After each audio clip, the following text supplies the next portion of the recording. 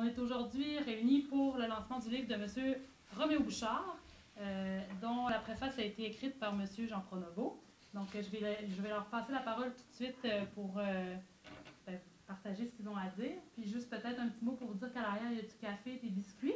Puis moi, dans le fond, je vais être à la petite table amis de la Terre si vous avez des questions. Il y a des dépliants sur notre programmation. si vous voulez vous inscrire à notre infolette, je vais être là pour ça.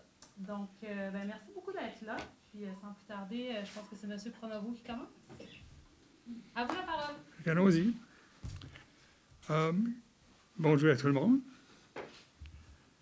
Je vais commencer par dire que j'étais, mais vraiment très heureux lorsqu'on m'a demandé d'écrire la préface du dernier livre de M. Bouchard.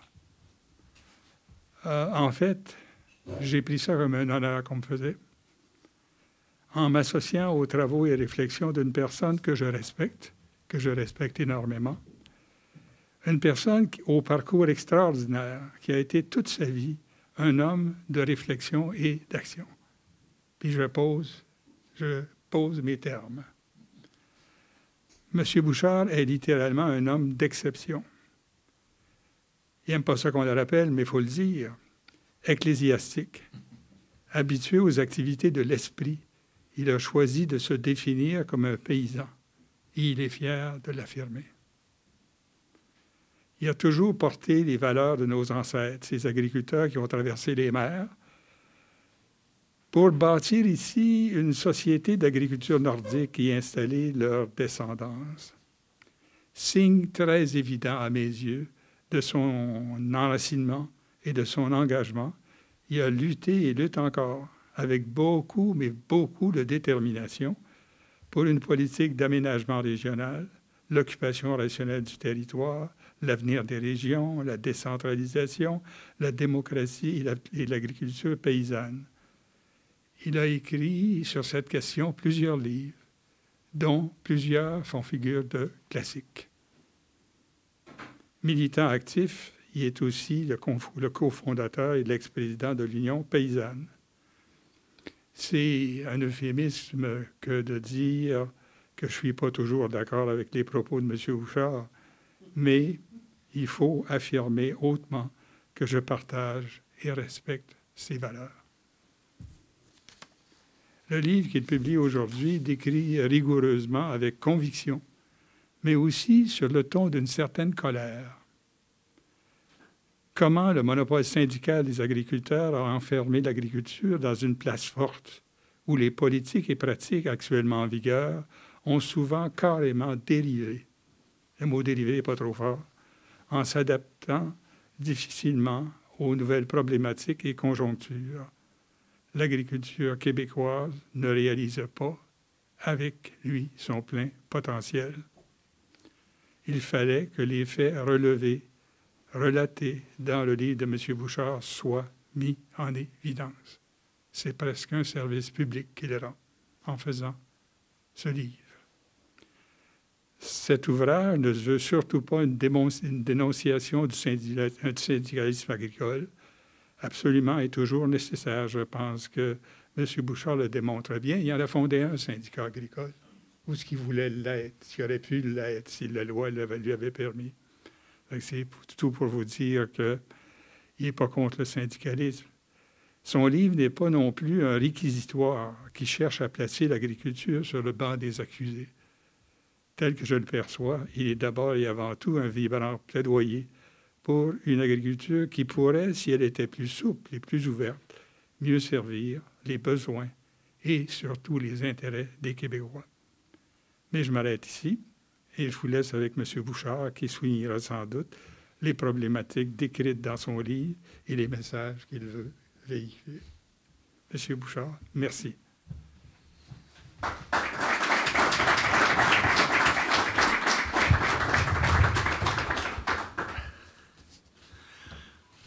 C'est une belle journée parce que là, c'est festif. Là. Ça fait 4-5 jours que je me promène dans les médias.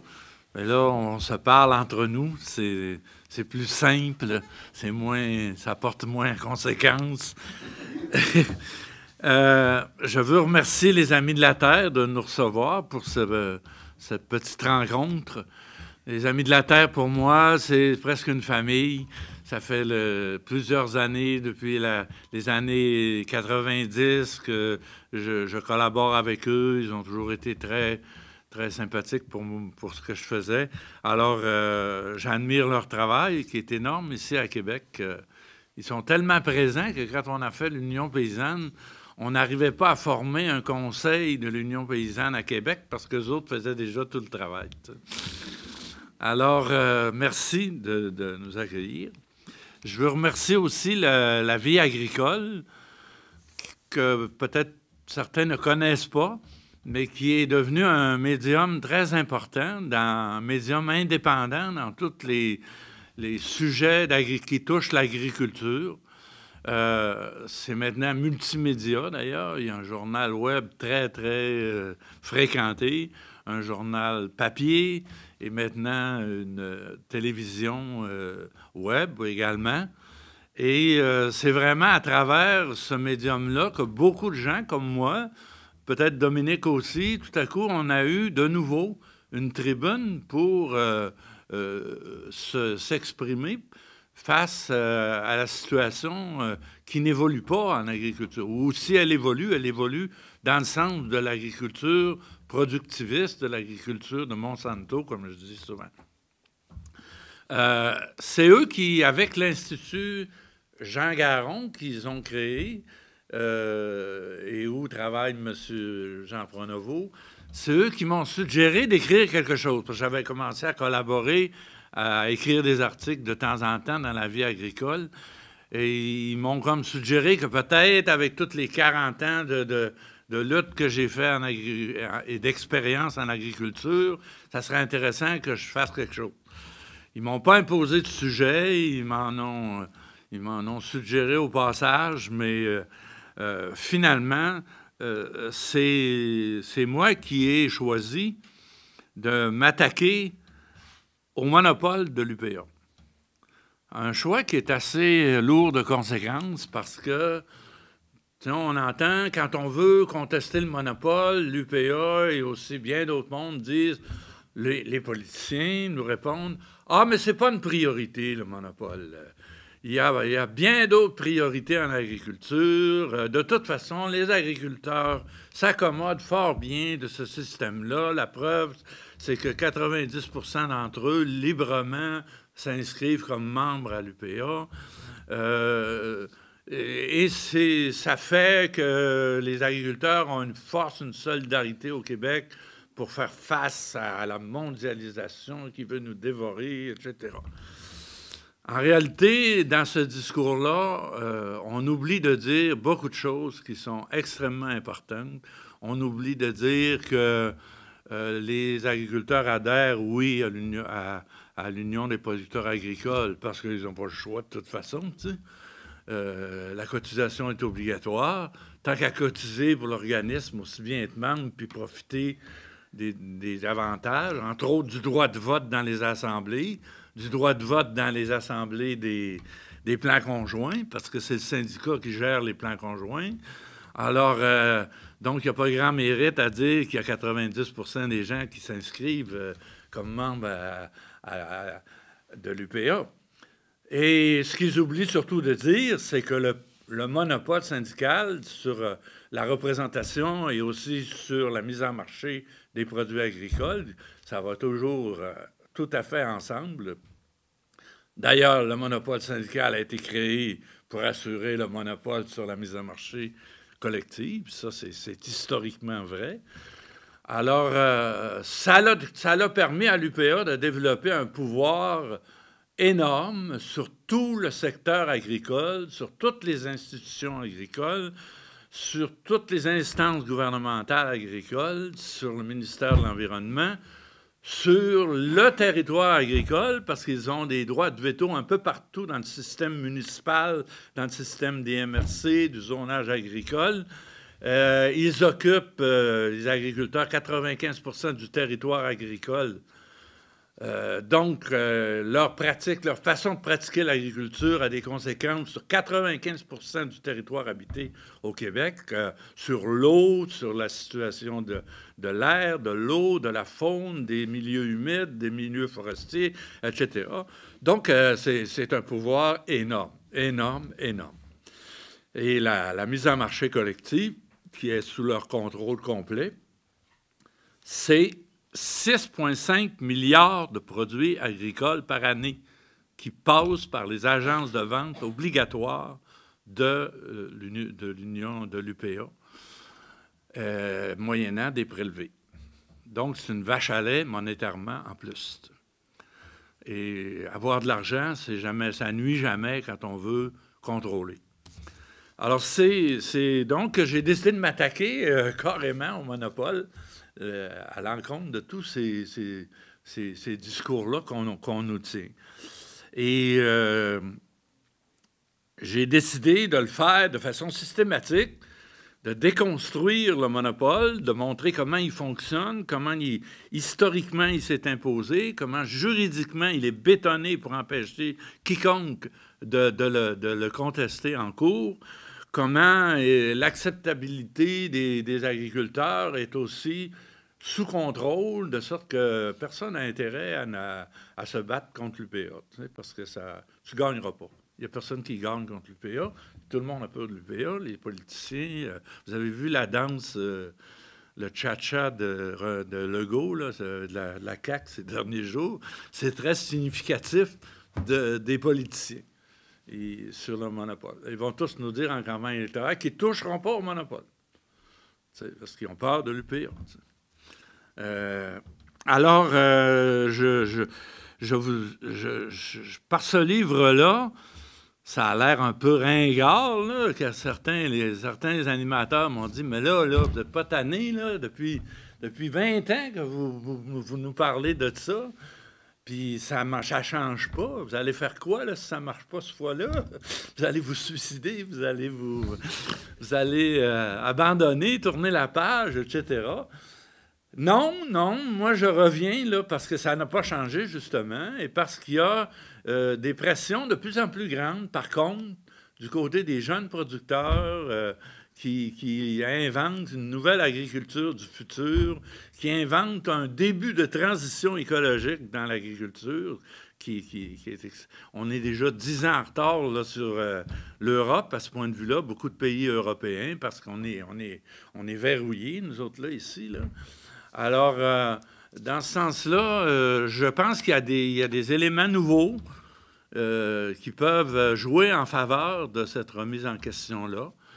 Et il y a M. Pronovo, qui, après avoir fait un travail de professionnel, mais très indépendant dans tout le travail de la commission, et dans un rapport que je n'ai pas encore, à part les, gens de l'UPA, j'ai encore entendu personne en dix ans qui, n'est pas dit que c'était un rapport exceptionnel, un des, un des rapports les plus remarquables de toutes les commissions qu'il y a eu au Québec, équilibré, pas exagéré, pas radical, opérationnel, euh, euh, qui, garde toute son actualité. Alors, M. Pronovo qui met cette fois-ci tout son poids dans cette, nouvelle campagne-là contre le monopole je pense que ça vaut la peine d'essayer. moi, tout à l'heure, j'avais 5-6 jeunes autour de moi. Là. On, discutait avant le début. C'est tous des jeunes qui s'intéressent à ces sujets-là, qui veulent faire de quoi. Euh, ce monopole-là empêche les jeunes actuellement de rénover l'agriculture, de rénover l'occupation du territoire au Québec empêche la transition écologique, empêche la diversification de l'agriculture, empêche l'agriculture de proximité de prospérer, parce que tout, toutes les politiques agricoles, que ce soit le financement de l'agriculture par l'ASRA selon les volumes de production, qui jouent en défaveur de tous ces jeunes-là, que ce soit les quotas et la mise en marché collective qui est extrêmement rigide, qui ne veut pas ouvrir aucune marge de, production hors quota pour euh, permettre une, mise en marché en circuit court. euh, permettre un développement des produits de niche euh, plus compétitifs et tout ça, que ce soit le zonage agricole qu'on a. Sur tous ces sujets-là, les propositions du, rapport Pronovo étaient extrêmement équilibrées, intelligentes. Le, zonage agricole euh, certaines choses dans la gestion la protection du territoire agricole pour permettre euh, un plus grand accès aux terres et, euh, à la zone agricole pour des, nouvelles formes d'agriculture qui ne demandent pas euh, d'avoir une terre de 100 hectares avec 2, 3 hectares, 1 hectare. Hein, tous les nouveaux, Jean-Martin Fortier, Dominique, Anne-Phil, tout ce monde-là produisent des revenus plus que, que, euh, que respectable avec un hectare, avec les nouvelles techniques.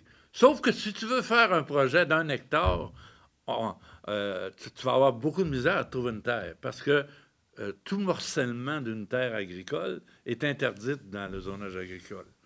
Et si jamais tu t'en trouves un morceau qui n'est pas qui n'était pas déjà intégré dans une unité plus grande, on te refusera l'autorisation de te bâtir.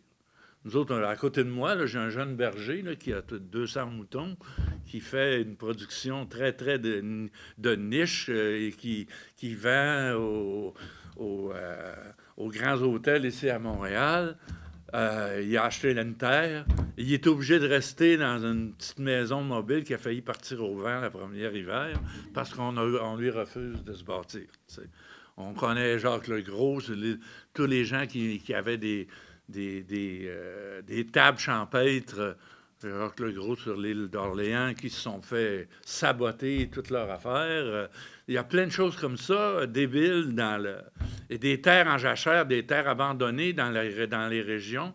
Il y en a de plus en plus, et personne ne peut les occuper à cause d'une gérance des, du zonage agricole qui n'est pas, pas intelligente, au cas par cas, mal faite, euh, et sur lequel l'UPA met un, un, veto absolu. Quiconque veut toucher à ça, c'est une levée de bouclier. Et même les grands écologistes comme Stephen Guilbeault, Karel Méran, tout ce monde-là se garoche à côté de l'UPA, ces tribunes, pour appuyer la protection des terres agricoles, pour appuyer la gestion de l'eau, pour appuyer le, sauvetage des campagnes, alors que le pire ennemi des campagnes ces dernières années, ça a été l'agriculture de productivité, productiviste que soutient l'UPA, puis les politiques agricoles qu'on a là. On est rendu à ce niveau-là d'absurdité.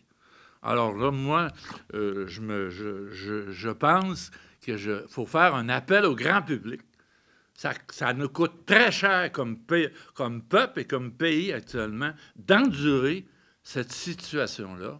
Et il faut que le monde se réveille et dise ça n'a plus de bon sens, cette affaire-là. Ça l'a fait son temps. Alors voilà, euh, voilà un peu ce que j'essaye de faire avec ce livre-là. Euh, je veux juste faire un dernier remerciement que je fais très rarement, mais que je veux faire cette fois-ci. C'est envers ma femme. qui est non seulement ma conductrice, euh, euh, ma lectrice, mais qui est aussi, en plus d'être ma femme, bien sûr, ma recherchiste et mon ange gardien. Parce qu'à mon âge, c'est pas toujours facile de me déplacer, c'est pas toujours facile de, tout prévoir.